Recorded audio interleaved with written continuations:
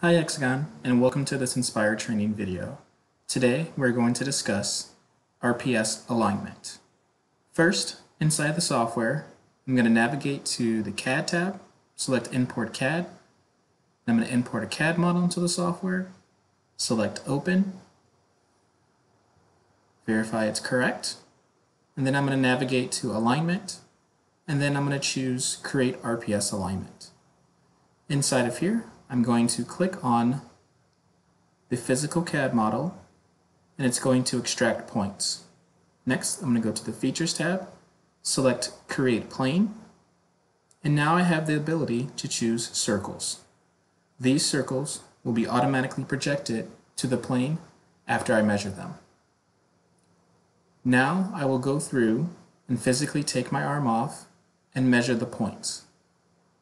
When I'm measuring the points, I just want to make sure that I'm in the same location that I selected on the bullseye. After I take a couple points, the software will try to go through and physically align to the actual part. On the right hand side, inside of the properties of the RPS alignment, we can see that Inspire has already configured the DX, DY, and DZ based off the features that were selected from the CAD model. Once it says complete, now it goes from weakly constrained to over constrained, and we start to see some statistics appear. Now, if I remove the DZ value from my circle 1, it says constrained, and I have zero deviation for my RPS alignment.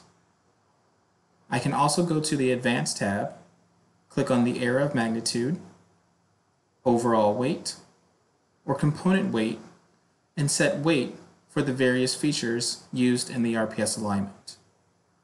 Simply check the box on the particular feature and we will see the statistics update in the properties. Thank you for watching and we hope you were inspired.